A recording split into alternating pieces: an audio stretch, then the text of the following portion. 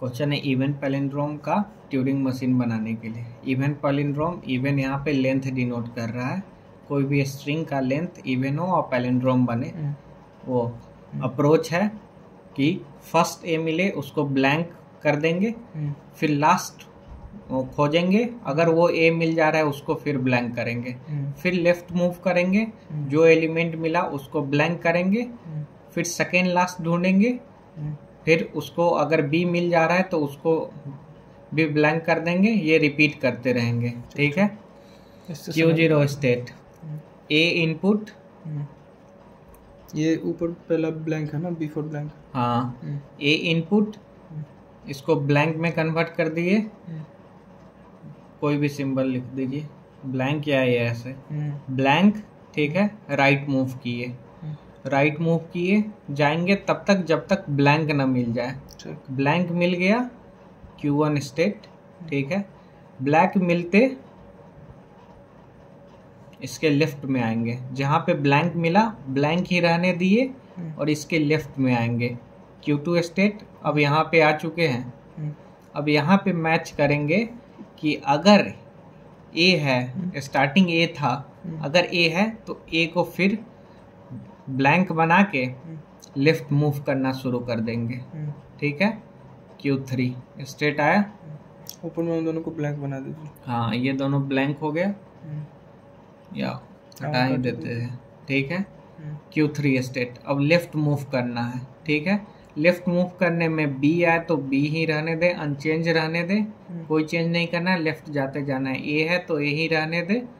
कब तक? हम्म, तब तक करेंगे जब तक हम ब्लैंक अब ब्लैंक यहाँ मिलेगा जो चेंज किए हैं ए को। अब वो ब्लैंक है। हाँ तो ठीक है तब तक करेंगे ब्लैंक जब तक मिल ना जाए ब्लैंक को ब्लैंक ही रहने दे और वहाँ से राइट मूव करना शुरू करेंगे। अब हमारा पॉइंटर यहाँ आ चुका है। अब यहाँ से राइट करने पे बी इनकाउंटर हुआ। तो ठीक है बी अगर इनकाउंटर हो रहा है तो बी को फिर से वही अप्रोच जो है ब्लैंक बना दिए। राइट मूव करना शुरू किए ठीक है?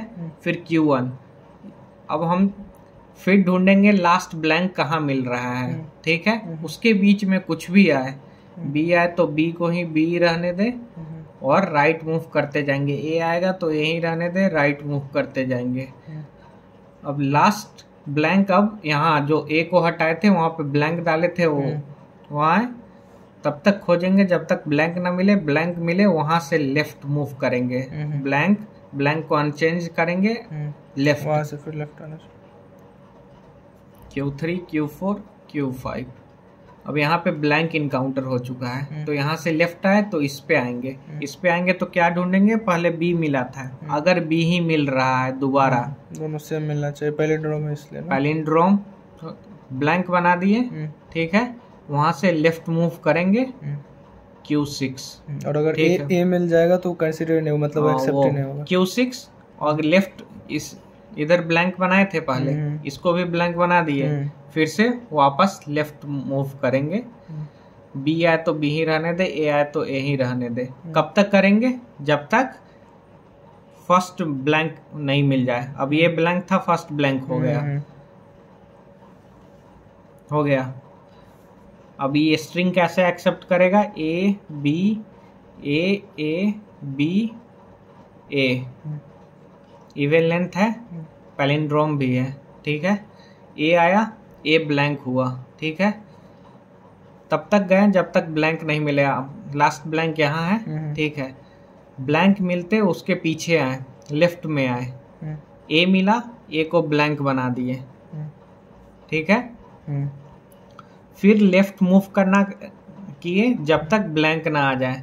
बी आया ए आया लेफ़्ट मूव करते गए। जैसे ही ब्लैंक इनकाउंटर हुआ वहाँ से राइट मूव करना है। अब पॉइंटर यहाँ आ गया। हम्म, अब बी आया।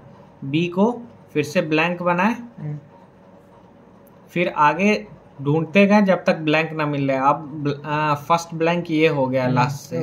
प्रेजेंटली तो उसके फिर लेफ़्ट में आए बी ढूंढे। बी मिल गया। फिर इसको भी ब्लैंक बना दिए। अगर यहाँ ए ए रहता तो डबल ए ए रहता। तो वो कंसिडर ही नहीं करते यहीं पे रुक जाता और यहीं पे रिजेक्ट हो जाता। उसके लिए कोई। लिखते दिया नहीं हम लोग इसमें। रिजेक्ट यहीं पे हो जाता। वो लिखते नहीं है। ठीक है? बी हो गया। फिर यहाँ से लेफ़्ट मूव करना शुरू करेगा। जब तक यहाँ पे ब्लैंक मिला फिर ए आया। ए के लिए ऐसे ही होगा। अब फाइनल स्टेट कैसे बनेगा? क्यू ज़ीरो पे ये भी ब्लैंक हो गया ये भी ब्लैंक हो गया। हम्म। फिर यहाँ से लेफ़्ट मूव करना शुरू किया हम्म। तो वो आ जाएगा ब्लैंक Blank पे आया तो हम्म। ब्लैंक के राइट में अगर ब्लैंक मिल जाए हम्म। ब्लैंक के राइट में ब्लैंक मिल जाए क्यू ज़ीरो पे तो वही फाइनल स्टेट हम्म। Q F